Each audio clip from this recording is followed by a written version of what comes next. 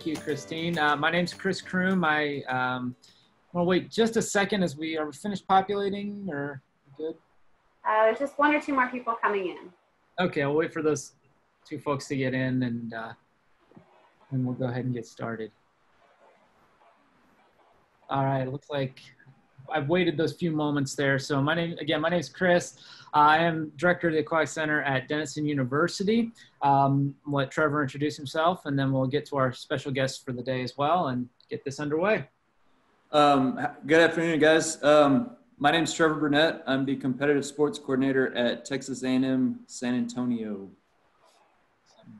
Uh, like I said, you know, we've got two special guests with us from the reopening work team from NIRSA.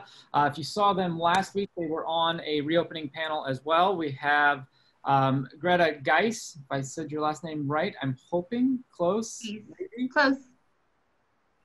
Uh, and then we also have um, Rob Bolton. Uh, Greta's from North, uh, Northwest Iowa Community College, Rob from Pepperdine University. So um, you know, I guess I'm just going to ask the first question to get this started. If you have questions, type those into the chat, and then um, we're going to monitor that, get those out to our uh, our group here, and get those answered as best as we possibly can today. So we'll go for the whole hour if we um, you know if we can. Hopefully we uh, we have lots of good interactions today. So. You know, the question I was just going to ask that, you know, especially our two um, reopening specialists is, you know, as you looked at your plans, and I know you know, one of you is open, one of you is not.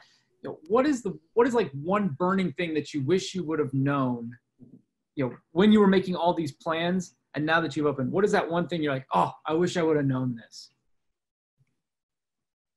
Rob, do you want me to go? Yeah, go ahead. Okay. Um, I was. I think the thing that I keep saying to colleagues that have asked me that question, Chris, is if you can get your cleaning supply chain locked down, that would be my biggest suggestion. It's super hard right now because right now, especially here in the Midwest, based on our uh, governor's proclamation for reopening practices, we are not the only industry that wants these supplies. People who never had to worry about uh, sanitation, disinfecting, and cleaning to the level that as a recreation and fitness facility, I've always been super proud of our cleanliness and our attention to that. Um, it's been important to us long before COVID 19, but now other industries are taking those practices into effect. So, lock that down. That was something that I, I was saying earlier before we jumped on that 72 hours before we opened, I was still trying to make sure that we had a supply chain to ensure that we weren't going to be open for one week and then have to close because we couldn't keep up with the rigorous cleaning practices.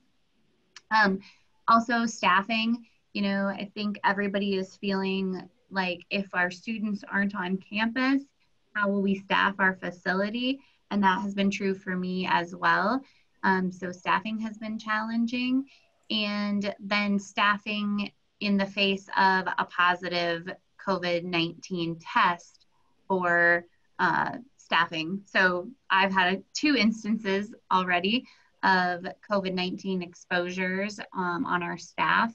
And handling that has been an exercise in understanding public health policies and procedures, and that is not easy. Um, so just be prepared for what those positive cases will mean and who your resources are. I think those are the things that I found that out relatively early, um, but it's been challenging. Yeah, I would say, you know, we there's not a lot that that would fit uh, as far as what we would do differently or what we've learned. I think one thing that came about is that I did rely too much on uh, just thinking that my direct supervisor would be passing down all the information with our university's planning committee. And, in, and we were very active at trying to create our reopening strategy early on.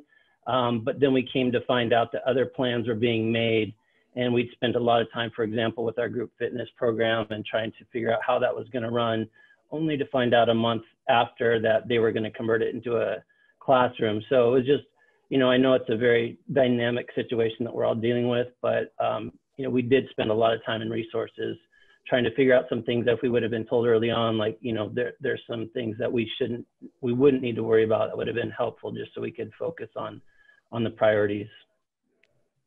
Yeah, I would I would echo that too, Rob. That's a good point. I've had similar situations. Mm-hmm. Um, you know, I- Greta, you were talking about you know having a staff member um, you know testing positive. You know, what does that look like for y'all when that happens? What kind of a process do you have to go through? You know, it might be helpful for the rest of us if we do have that happen. You bet. Okay, so neither of my staff members have tested positive. Thankfully, I'm gonna knock on some wood here. Um, but they had direct exposure to family members who did test positive. And so um, I think I said this last on last week's call as or roundtable as well.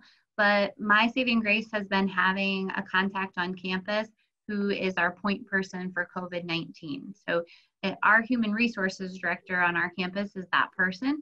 And so I have a direct line to her to find out what I need to do and how we need to proceed. And I see there's a question in the chat about contact tracing. And so she's my resource for that contact tracing process. Um, so, first step find that person on your campus. Um, similar to what Rob was saying, don't assume that they're going to tell you. You're going to have to find that person and you're going to have to ask them. Um, so, find that person, get their ear. But for us, these two folks didn't test positive. They themselves tested negative, but were directly exposed to a positive COVID 19 test uh, so they had to self isolate for 14 days because their test was negative on our campus. And Iowa Public Health said that we did not have to disclose that. If that individual staff member wanted to disclose to their coworkers as to why they were not on the schedule for two weeks, they could. And um, in both instances, they did and have. Um, just for, I, I I thank them for their um, posterity and, and being open with that because I think the more open we can be, the better off we all are. Uh, but for us, we didn't have to shut down. We were able to just have that person self isolate for two weeks and then they could come back um, on staff. In these cases, those people were not symptomatic um, and their tests were negative. So for me, um, it's thankfully been okay. Uh, but we were quite sure on day one of phase two of our reopening strategy here at the College Rec Center that we were maybe going to have to shut down had um, that one one of the staff members tested positive. Mostly because, as I said before, student staffing is very difficult. And this summer, um, to reopen our facility, I have a lot of student employees working a lot of hours. And this particular employee was one of my nearly 40 hour a week people. And had they tested positive themselves, we would have probably been shut down again on day one of phase two of our reopening strategy. So it can change in a heartbeat. And I think that's the big message too. Is I think adaptability is is going to be the name of the game, not just for the fall, but probably the entire school years figuring out how do we adapt to an ever-changing, ever-evolving situation. That sounds a lot like a lot of everybody else is experiencing. Um, Jeremy is asking, you know, and, and not just our you know, our guests, anybody can chime in on this. What uh, what are your what's your intramural programming looking like, and what are your club sports looking like for the fall? And I guess we can start with the group here, and then open it up to anybody. What are your what are your plans for IMs? So I I think this is going to be um, kind of one of those situations where it's per uh, school, um, what you know, where you, what state you're living in. Um, a lot of that for us in Texas, um, we are going to be, you know, it's what I'm what I'm being the competitive sports coordinator. What I'm planning to do is I already do something. Um, I used it. I was using it as an advertising tool, but I call it Rec Day Thursday, and it's literally we go from 11 to 3 we do little games where you're competing um, and we try to tie them to whatever sport we're playing. So if it's flag football, we'll have like a trash can toss. We'll do um, little football related events. It's literally, you know, they walk up and we catch them between class. You don't have to be in athletic attire. Um, we're going to do little things like that. I'm going to stick with that. Um, that might be what my intramural program looks like um, this year. Uh, I think with sport clubs, it's going to depend on you know who where they're competing or who what you know what that league, um, what guidelines they're following, whether it's NCAA, um, NAIA, however that looks. So I know NIRSA when you know they're going to come out with something for sports. Obviously, um, I'm not sure where we're at with that or how far you know when that's going to happen. But um, NIRSA's just like NCAA or NAIA, they're nationwide, so they have to figure out something that's going to fit the mold for everybody, not just Texas or not just you know California or wherever you're located. So um, I think it's going to be a lot of up in the air and last minute stuff, honestly as far as how that's going to play out for sports. Um, but yeah, we we were at um, sports with no more than four people, so obviously that's very difficult to do. So if you want, the best thing you could do is spike ball with gloves, I guess, but still um, trying to avoid that contact. So for me, I'm going to stick with our Rec Day Thursday model where we're doing little games um, that relate to whatever sport we have going on. You can probably still do table tennis. Um, stuff like that. So, anybody else got uh, ideas or or options that they have thought about?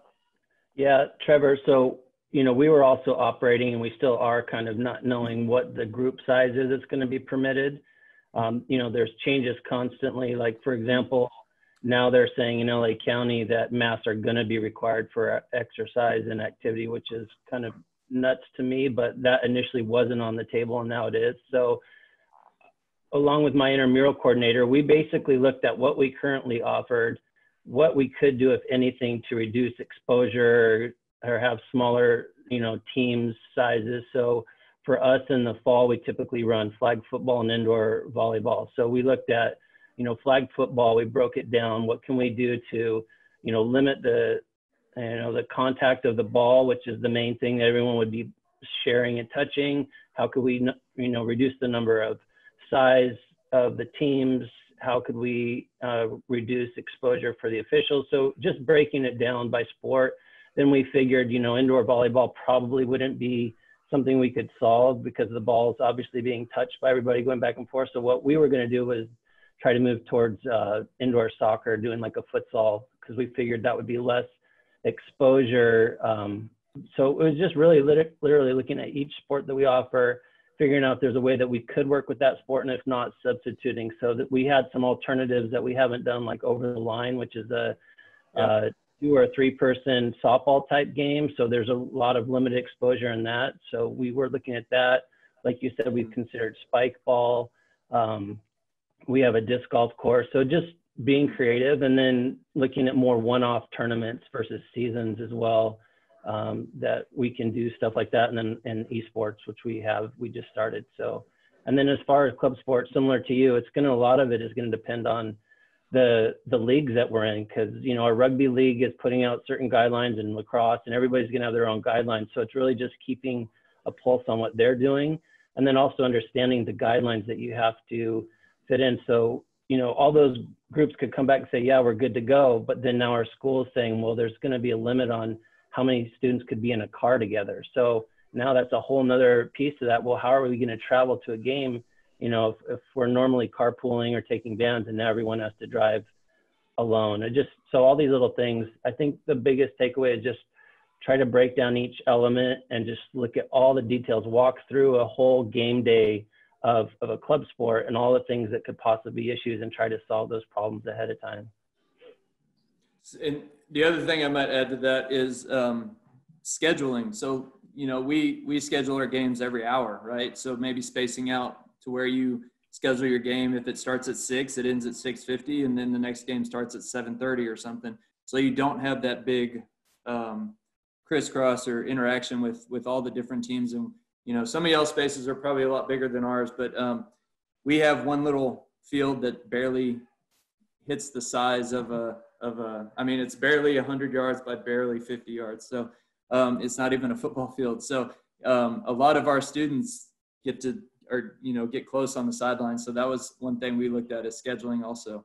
Um, and then Janice, I think we're kind of all in the same boat. I'm pretty sure we're still, as far as A&M San Antonio, um, we still have our our travel restrictions. So, um, you know, I I think a lot of it's just going to depend on what these governing bodies decide, and then how your university handles that situation. In, in Iowa, we are a little bit different, Mm-hmm. maybe weird. we are having high school baseball and softball right now. We're heading into uh, tournament play next week. Um, and then we, I also uh, work as the supervisor for our sports shooting team, which is a, a Iowa Community College Athletic Conference sanctioned team. And we are making plans for a fall season. Now, sports shooting is one of those sports that is pretty easy to not be next to people. It's literally part of the safety parameters for sport shooting. Um, but we met as athletic directors last week, and the pending um, NJCAA parameters, we are going to have fall sports, indoor sports competitions. There'll be no uh, no fans, no spectators. Outdoor, each institution can make that decision as needed, and we're not restricted on travel. Now, as an institution, for a summer semester, we're not traveling. We're not going, you know, any of our meetings with other college uh, personnel are Zoom. But the fall, we're hoping, we're, we're basically making plans to have it. So I'm not saying that's right. I'm not saying it's wrong, but that's where we're at in Iowa. Yeah, and I, I think one of the other one of the considerations we're looking at is, you know, our rugby league is allowing play, but our university is saying absolutely no way. You know, just looking at, you know, especially with rugby, looking at the, you know, that's a perfect example. Looking at the liability of just, you know, how that sport is played and just the possibilities for contact there. So, you know, you can. I think that's the big thing to look to is what's your university going to do as well. What are they recommending? You know, we talked with our general counsel quite a bit on these kinds of things and she was like yeah that sounds like a really bad idea so um, and i'm i'm known for bad ideas so if she's telling me it's a bad idea then all right i'm not going to get any chuckles from the group today so um, all right well i'll try i'll try those bad jokes later. Um, another question uh, from sue weaver um, asking a little bit about what are people planning for you know group fitness? Are you doing indoors? How do you do that? What kind of safety precautions? I guess you know things to look at for group fitness as we you know we get ready to reopen so we are doing group fitness we just started it we're not having much takers so it's a soft opening of group fitness um i can't see sue but hi sue um so we are doing it. We just started. We're doing ours in a boutique style. So we're requiring small classes, um, 10 people and less. We have a pretty large group fitness studio. So that allows us to have more than plenty of space in between people. Uh, they have to, if they have equipment that they need for that class, they have to check that out prior to the class at the front desk and then they check it back in after they're done and we sanitize all of that equipment. If it's a class where the instructor might have done a hands-on adjustment or you know manual technique manipulation, we're of course not doing that. Um, they have to pre-register for the class. So we have an online registration process.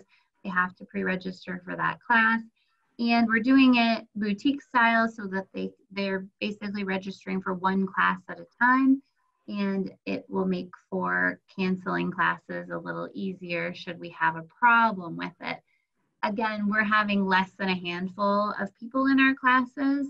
Um, it's summertime so that's you know thing number one to remember. Uh, thing number two is we still have a fairly covid cautious group and we our facility is for our faculty staff and students but we also sell community memberships. And a lot of our community members are still pretty covid cautious around here. Um, but we're rolling it out those who are loyal group fitness participants are super excited um, but we're starting really slowly like four classes a week um, at very different times. So we have plenty of time to disinfect equipment and classroom space in between. I don't know if that helps you at your institution, but we are starting that and just So I would Low and slow. and I, I think, I mean, Janice touched on it, but looking at your outdoor spaces, so we don't have a, a rec center per se. We have a, two facilities that are just right around 2,000 square feet. Um, so we have a pavilion though, so that's where we're planning to do um, anything on campus as far as our fitness classes. Um, our pavilion is the size of a basketball court, so you can easily, and it's outdoors, which is recommended if you can do anything outdoors. Um, and then the other part of that is we've had quite a bit of success with our online um, fitness classes that our fitness instructors have been doing basically since um, let's see spring break. Uh, they got it all together and they've been doing it since then. So they've they've pretty much perfected that method now that we're in July. Um, so they've they've done a good job with that. So um, they're going to keep doing that also. So that's what a lot of our um, fitness classes are going to look like. And then we will also provide. Uh, we won't do as many per week, but we will do them out, outdoors, whether it's you know on a lawn or at our pavilion. So I would yeah look at those outdoor spaces that are relatively close to your your rec center. It's good advertisement too. Yeah, and, and I guess don't be afraid to try new formats of of your programs as well. You know, looking at you know how do we transfer our stuff from the out, you know, from the inside to the outside. What does that look like? Um, you know, we're going to continue to do some virtual because we're going to have to just with the numbers that we pull for some of our classes. Zumba is usually packed for us, so it makes sense to do it a lot. You know, do it virtually. Um, you know, how do we do uh, you know cycling classes? You know, we're looking at you know can we move those bikes outside and inside every day? Do we want to move out to our indoor track?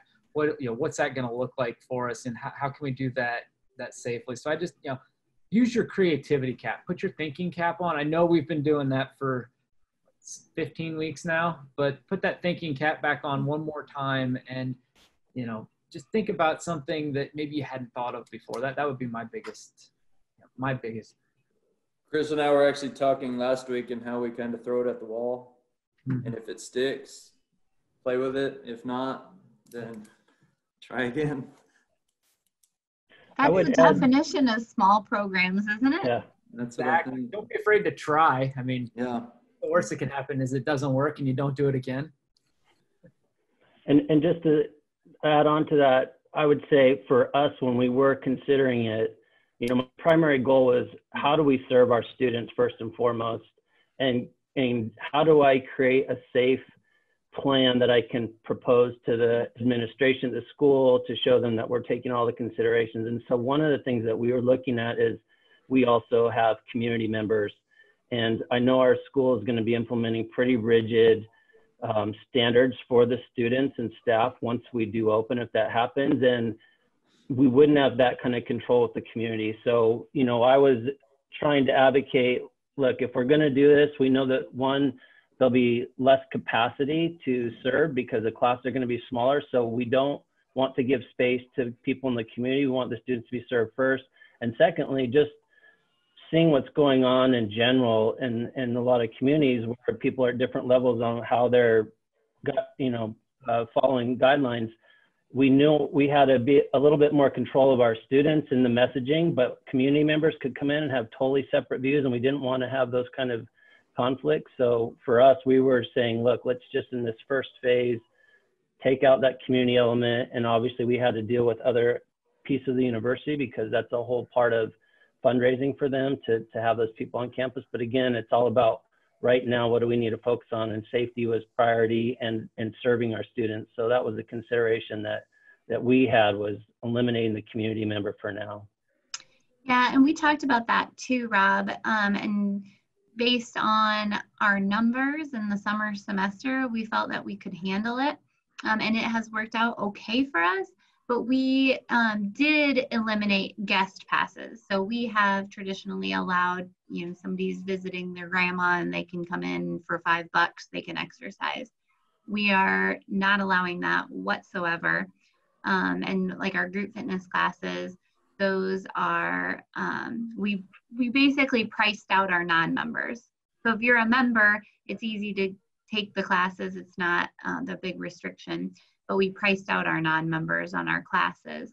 So that way, when we are doing contact tracing, and I think somebody said something about contact tracing, when we are doing contact tracing, we are only serving people that we know and have good contact information from uh, so that if we have to go to that stage in the COVID 19 process, we know who we need to contact and how to contact them.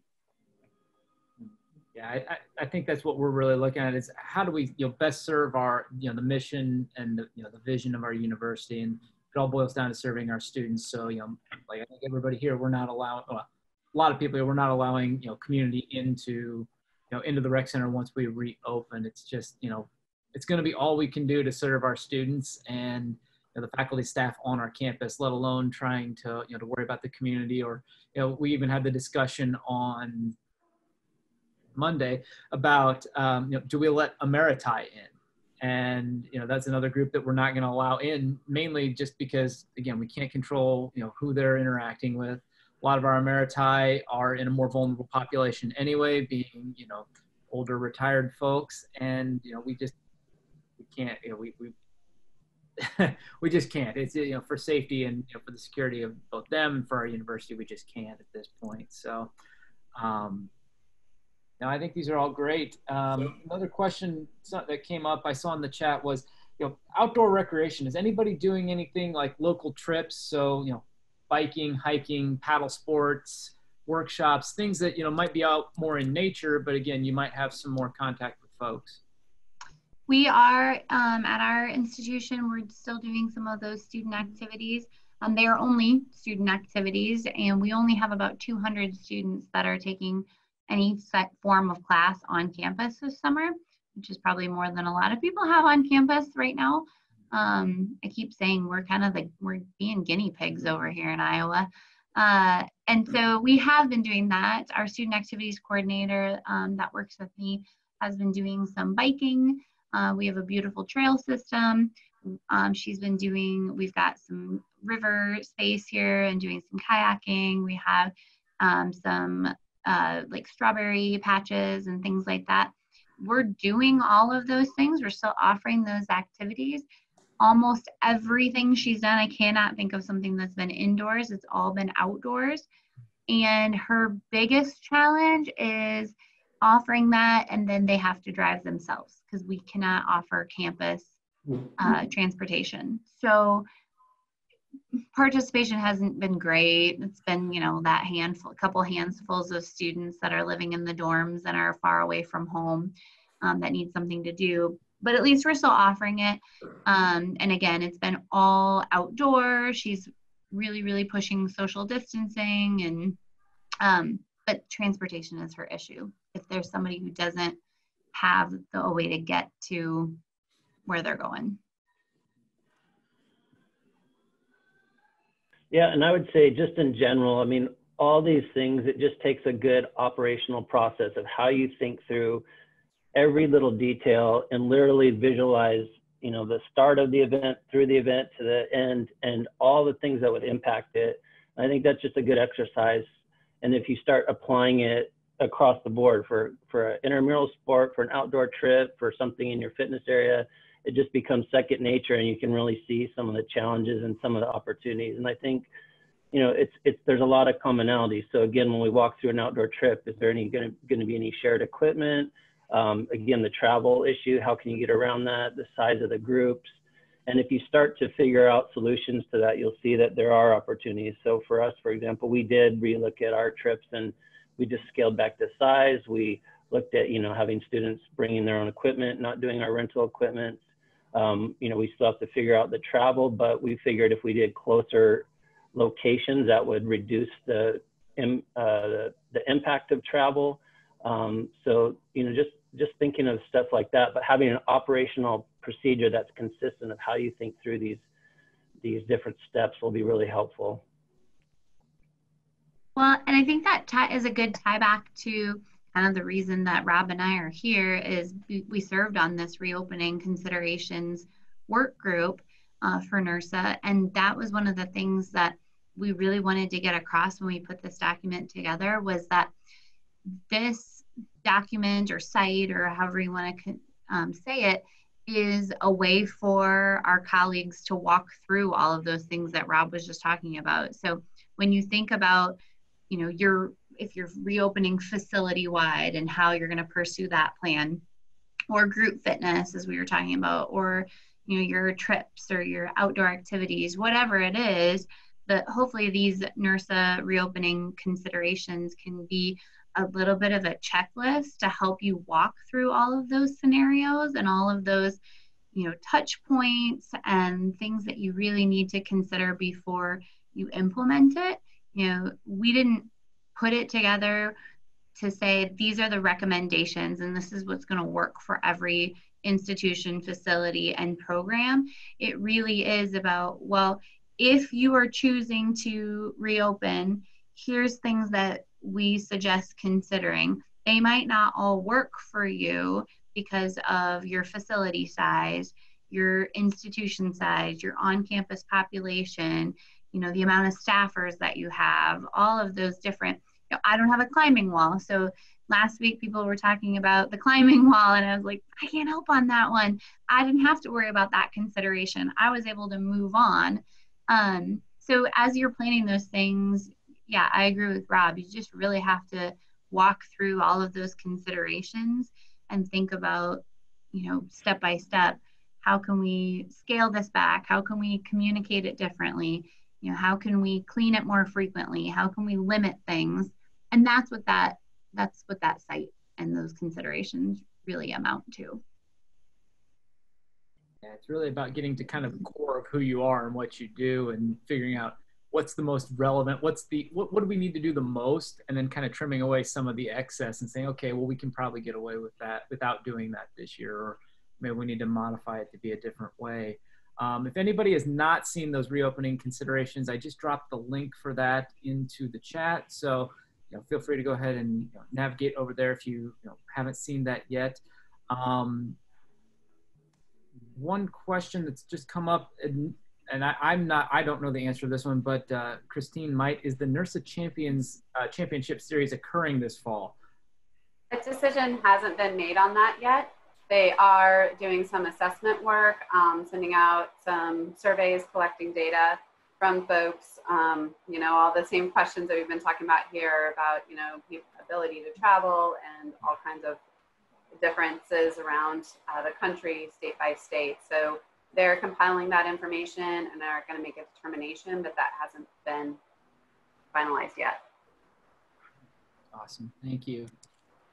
Um, Chris, I just wondered if I could too, because you just said something that reminded me, you know, there's a lot of challenges, but there's also a lot of opportunities if you look at this um, a certain way. And I've been on a lot of uh, roundtable calls with executives in the fitness industry from the commercial industry, and a lot of them are seeing opportunity as well. And I think for us, you know, we may have programs or you know just policies or procedures that we've been doing for so long that maybe aren't the best way to do things. And this is a great environment to now reevaluate those things and also implement change and take it up to the administration and use it under the umbrella of like, well, we can't do it because of this, but maybe that's just not the best way to operate anymore. And there's, I mean, for example, you know, the Zoom, um, doing, you know, more online programming and things like that, you know, for small schools like us, the expense of hiring instructors and personal training and all the things,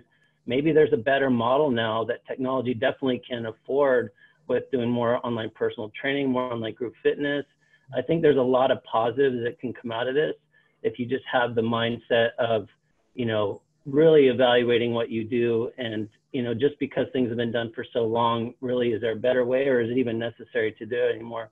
You know we're seeing for example group fitness is really kind of fading out for us and we're we're fighting so hard every year to keep it going. But if students are in a different place so when i walk into our weight room i see most of the students are on their phones watching a fitness app. So now we're thinking well why don't what we actually did last year before this was started creating open time in our group fitness studio for app-based fitness training because we had the dumbbells, we had all the small accessories, and we said this is time to come in, use your app. That way you're not taking up space in the weight room. But again, it's just kind of how can you use this to your advantage? And I think um, you know, as small schools, we have to really put on that thinking cap and, and be more creative at this point for maybe lasting opportunities and change that's positive. Yeah, I 100% agree with Rob. We are doing similar things over here, even though we are reintroducing group fitness. We are also working on um, our fitness on demand uh, opportunities because we do have a lot of group fitness studio time where that room is empty, or if it's not empty, um, and it's not a our class, we have students that are going in there with their phones and they're doing a YouTube video so how can we capitalize on that? How can we capture that? And we are going to have a membership tier here in the fall that will be tied to Fitness on Demand. So they'll have to have a membership. So we tie them to their membership, but they can also access that Fitness on Demand either in our facility, in our studio, or Fitness on Demand has an option where we can give them login information for at home. So we're tying it to a membership tier and we're pursuing it that way. But I haven't had a lot of support on that in the past, but I want to capitalize on where we are to move forward on that. And we've also done a lot of long term recurring group fitness classes where people had to commit as instructors to every Tuesday at five, they were doing the same class. And that was participant based because they, they want that consistency but for an instructor and for rural Northwest Iowa, uh, let me tell you, instructors and personal trainers aren't growing on trees over here in Iowa, uh, in the in the country. So that has been challenging for us. But now, as we reintroduce group fitness, we're doing them in a more boutique style, is what I'm saying. And so they are able to kind of cherry pick the days, times, weeks that work for them. Um, and I'm capitalizing on the changes COVID's bringing me and making it work for our facility. And I'm already getting positive feedback from instructors. They're pumped because this is what they want to work best with their schedule. Um, so yeah, um, I saw a chat from Brenna. I'm super curious, Brenna, where are you at in the world? Because you're open and like no one's open, and I'm always the only one open. Hey, um, yeah, I'm in St. Louis, Missouri. So we are actually, I should clarify, um, we have started group fitness because we are able to use the gym. Um, however, we have a multi-purpose building with athletics, so that will end come fall. Um, and also our fitness center opens next Monday. So we started group fitness first to give a handful of people an opportunity, and we have an indoor track they can use currently and then um, then we're moving to the fitness center opening next Monday. So cool. So you were asking about closed cleaning periods. That is how we reopened phase one. We picked three windows of time that were peak usage times. And in between there, we were completely closed. We locked it down. We didn't, we weren't even promising to answer the phone. And we disinfected our whole facility.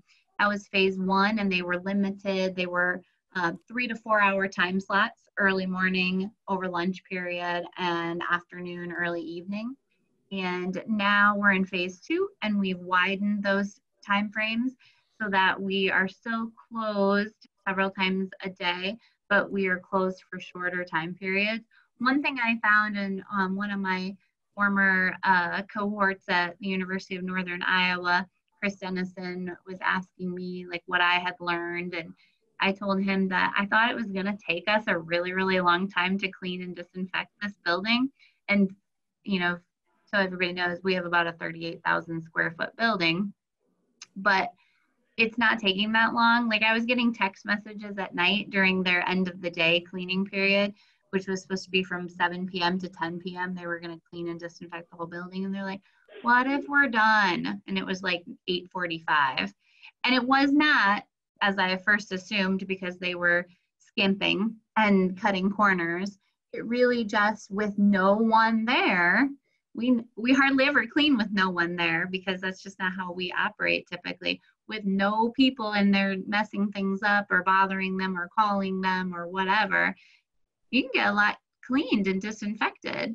So for us, um, finding that time to be closed so that there's no one in the building to disrupt that cleaning procedure, that has been really helpful for us. Um, and for the most part, people have been really cool with it as far as members and patrons. They actually really appreciate that we're spending that time doing it. So that's worked for us. And then, we, of course, we're doing it while they're there too. Like, okay, none of the treadmills are being used. Let's give them a good disinfection. But um, yeah, that has worked well for us. I can't say that it will work everywhere, but it works for us. So, Brenna, for us, we were supposed to open July 1st, so we got everything squared away, and then they told us we couldn't open. So, um, but what we did, we Lucky put, you.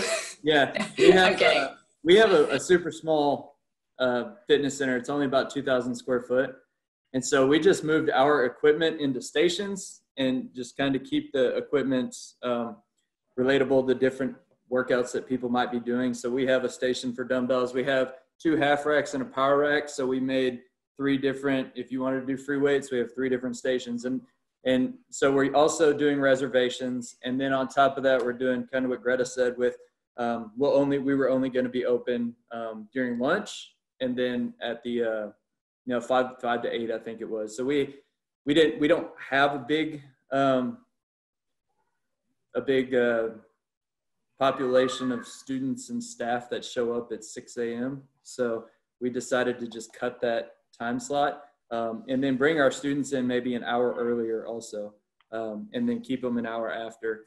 So we have those extra cleaning, um, that extra cleaning going on before people show up for their and and our workout times. We also reduced it. We it's 50 minutes, so there's a 10 minute, you know, the cleaning uh, section for our staff before the next person comes in, if there is a next person for that uh, station. So.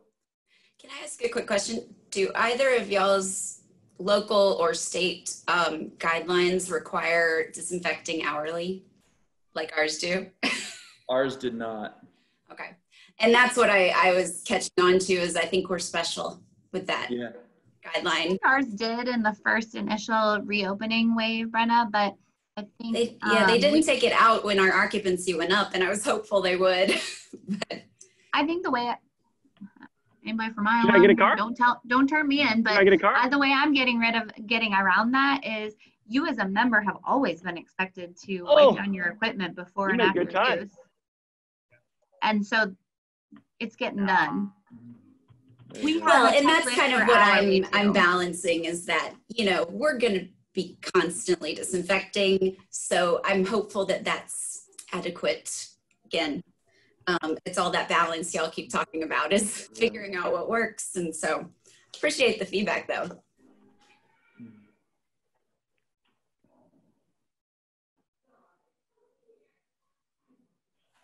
Uh, someone I saw a question about IM leagues um, as far as for reservations. Rachel maybe asked it, but yes, we are using our IM leagues for um, our, our, I guess, our stations. Um, but that's the only thing, and then I use it for IM leagues or for intramurals. Um, but that's the only thing we have going as far as that goes with IM leagues. I would say ask your whoever your provider is for that software management system. So I put on the chat, we use a company called DoSportsEasy, and they didn't have that module available, but they got so many requests. And if they're already doing some kind of, you know, check-in software uh, program for your fitness center, group fitness, it's not that complicated on their end to create a reservation system if it's not already on. And I know a lot of other companies have have quickly adapted to that. So um, it's you know still not too late if you have a software system that doesn't offer it to see if they can throw something together um, to create that. So I, I mean we asked and they they were able to re- respond pretty quickly and, and put it out there.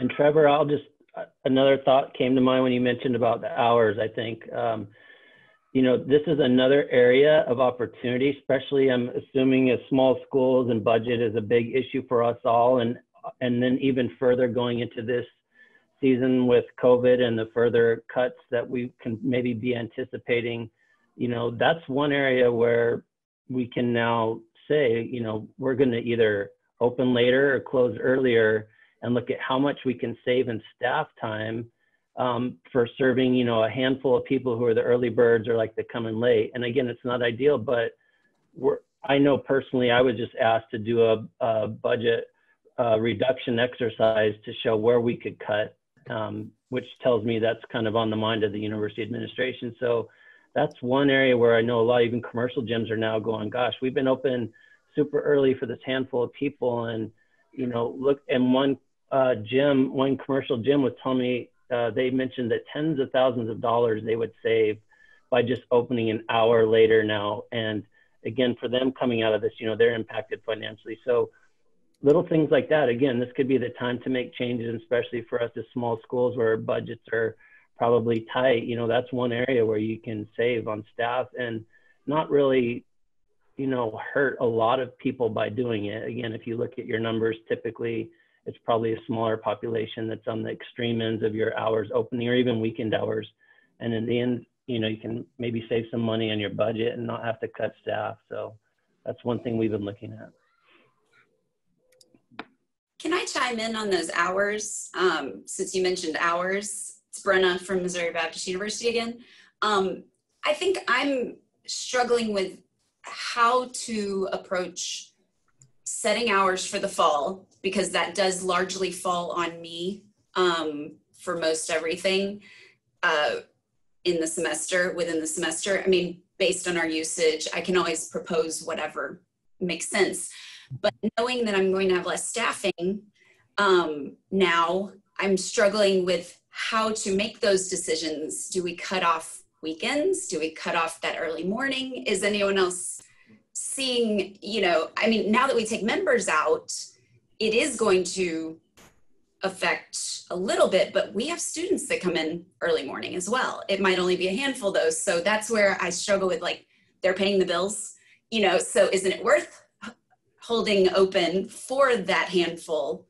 Um, so I, I don't know that anybody has any solution, but I'd love to hear thoughts. I think you just have to look at your peak hours and go from there. Um, you know, I think that's the easiest way to keep your facility running and to show that look these hours we are open we were really killing it um, and i mean i don't think any of us have a, a big population that shows up at 6 a.m to to work out um, so yeah i think i think i would start there with just looking at your peak hours see where you know the most your most populated times are I can not a big population, just a just a loud one that's going to complain. That would be my that's that true. be my only. Just be careful because that might be a small group, but they might be a loud group, and you got to watch out for that public relations component.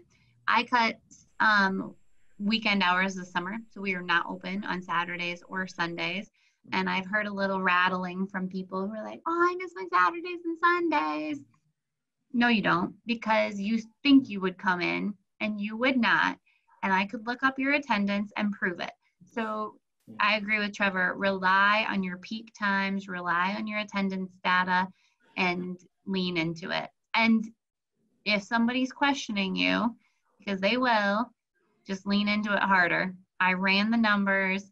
You're the only one who comes on Saturdays at 4 p.m. Lisa, you were going to say something. No, I'm sorry. You're fine. I was just going to support that and just say for you, Brenna, um, for myself, I am the only professional staff member for campus recreation. I work with student engagement. I also am 28 weeks pregnant. And so, right? Yes, lots of fun. But so the, the, but oh, but the real conversations that we get to have right now are they decided not, they decided to freeze a position underneath me and now they're facing the reality of right it is really hard and so i think it does give our schools an opportunity to see the value in our positions especially when you run into a hiccup like that and so you you have to decide what's going to work best for you especially if you're going to be that one person that's covering the majority of that staffing and you can lean back on, okay, unless you want to give me more funding, unless you want to provide me the student staff support, you can lean into those things and say, I can offer more hours, but this is the only realistic thing. Or you can pay me overtime. Like there's also that opportunity. So I think it does give us a lot of weight and shows the value of what we do, especially when you take away a lot of those those resources, because that's what our school is facing is okay, how are we going to run this because we didn't rehire that position under Lisa and uh, unfortunately she told us she was pregnant right as we were shutting down for quarantine. So that that's the reality of the situation. I think our schools needs to to realize that outside of COVID, we all do have other responsibilities and things too. So don't be afraid to list what your needs are as well in a a professional way, as I'm sure everybody on this call knows how to do. But you know, and talk about that with your supervisor and those people that are supporting you. Lisa, that's a great point, and I'm going to tie it back to the reopening considerations um, because the point you make is something that um, Rob and I and the rest of the reopening work team talked about um, time and time again as we were putting those together and working through what considerations we felt were really necessary. Um, one of the things that you can use those considerations for is leaning into your leadership and administration you know, this is, I'm the content expert, and here is what we need to consider. Here's a checklist of things that we need to, you know, put together and consider. Just utilize those, lean into those considerations because they were put together with a lot of thought uh, from a group of people that make up a lot of different sizes of universities and programs. Um, and so that was one thing we talked about several times is I think Rob, you said it earlier today. People they aren't always thinking about you, and they aren't always sharing down the chain. So you may have to use those considerations to share up the chain. I would just add one quick point too. Your reservation system should really help you with your hours because now you can show hmm. people in real time like what hours are being used and and be flexible. So the the model that we were going to use was a two week plan because we don't know what to expect. Hmm. We were going to do reservations during prime time hours and then open up to our capacity in the non prime time hours, and we're going to do it for two weeks for for weight room and see what happens. And and people are going to have to conform. I mean, that's happening across the board in commercial fitness industries because they are now also having to require reservation systems. So it's not ideal where people can just show up whenever they want. They have to say when are they going to go, and they have to they have to make the reservation, or they're going to be told after so many misses they're not going to be allowed that opportunity anymore. So it's it's a two way street. Like we're going to have to make adjustments, but also the people that we serve are going to also have to make adjustments. It's not going to be perfect, and I think that's something that you just need to know. It's okay to meet them halfway, and you have more tools now by showing, look, this is these reservation hours are, are not booked. If you really want to work out, if there's any way you can come in at this time, typically this is available. And instead of going, well, I'm going to open an extra hour to keep it available for you, try to, you know, you are going to have to be smart about your budget and try to fill in the hours to the capacity that's safe that you know that you have. So use that. And with those hours is going to require a lot of communication. So I'm going to tie back to that reopening considerations document again and um, recommend that you lean into that communications bucket. We um, there's five different categories of that reopening considerations document, and um, one of the they're all really important. And what we found is a lot of them intertwine with each other, and I'm sure all of you will see that too. But with that communications bucket, I, in talking with a few colleagues that have asked for, you know, what what things have gone well and what things have not gone well, um, communication is really important to me, and I think we do a really great job of that. Uh, and we all know that you can communicate six, seven, eight different ways and people aren't going to see it. So, um, as you're putting together your reopening strategy, as you are um, figuring out what those hours are going to look like and how they can sign up and all those different parameters. Just keep leaning into that communications piece and figuring out how you can communicate as thoroughly as possible. Um, despite numerous methods of communication, literally someone standing at the front door with their face in front of the flyer that said we weren't opening until May 18th, like knocking on our window, people are still going to say, Are you open? When are you open? I didn't see any. Okay, well, just uh, my, I guess my recommendation as somebody who is open and is phasing into um, wider amenities and hours and programming is just keep knocking down that communications door. And I guess I talked about phasing, um, and we're nearing the end of our time, so cut me off, Chris, if you want to. But we did, uh, especially for facilities bucket on that those reopening considerations. Um, you'll see in that opening kind of paragraph of the facilities bucket that we talked about the phased approach, and I don't think that's anything new to most of the people on the call. Um, but I, I was speaking with a group from George Mason last month about reopening strategies. And what I shared with them was we structured our phased approach in a way that we could allow a trickle instead of breaking open the dam. So figure out what that looks like for you, whether it's limited hours, limited capacity. Of course, you're going to need to follow your state guidelines, your public health guidelines, your institutional guidelines. But if you can find a way to slowly reopen, um, I feel fortunate that I got to reopen during the summertime. But whatever you can do to phase it in and then keep that communication part of it going, letting them know that this is a phased approach to reopening. As we can, we will we will open to a greater extent. We will add back programming. We will X, Y, Z, and and beyond. Um, the the reopening considerations really focuses um, on phase one and the considerations outline you know what what you need to think about in phase one but it can apply to phase two and phase three um, for us phase one was super restrictive and phase two was a is is we're in phase two right now um, brought back some programming like basketball court usage and group fitness um, and personal training. And we don't have a timeline on any of these. Phase three, we have not even gotten ready for.